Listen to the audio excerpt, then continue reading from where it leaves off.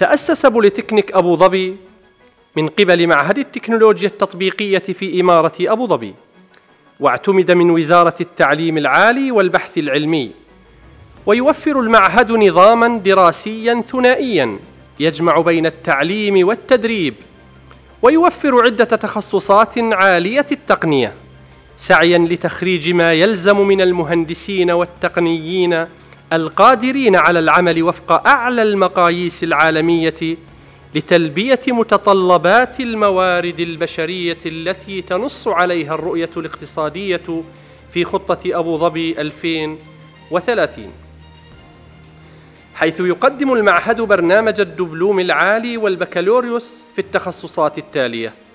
تكنولوجيا هندسة الطاقة المتقدمة الطاقة النووية وتكنولوجيا الهندسة الكهروميكانيكية وتكنولوجيا هندسة أمن المعلومات وتكنولوجيا هندسة البترول وتكنولوجيا صيانة الطائرات وتكنولوجيا هندسة الطائرات وإدارة الحركة الجوية.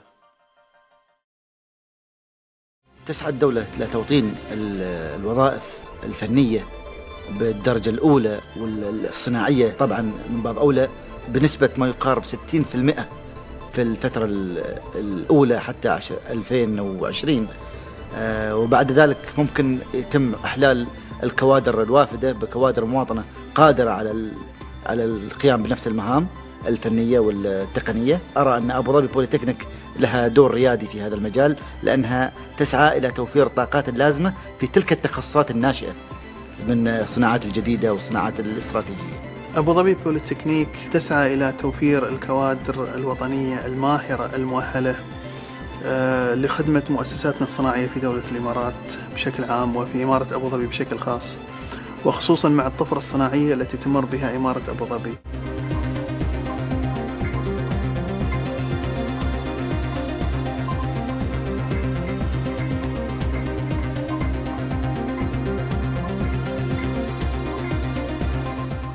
أبو ظبي بوليتكنيك ياخذ ثلاث سنوات متواصلة يتخللها تدريب صناعي وفني بحيث يتخرج الطالب من أبو ظبي بوليتكنيك. يكون مؤهل على كفاءة عالية لمزاولة المهنة في مجال التخصص خلال ثلاث سنوات وإعطاء كذلك الفرصة خلال بعد هذه الثلاث سنوات إن إكمال مساره سواء كان التعليمي أو مساره المهني من خلال الشهادات اللي يحصل عليها.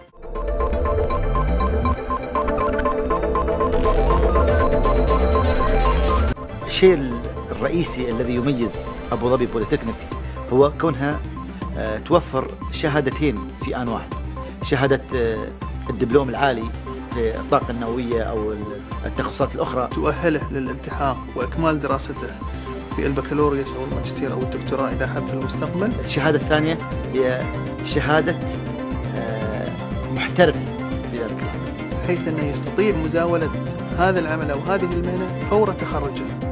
Thank you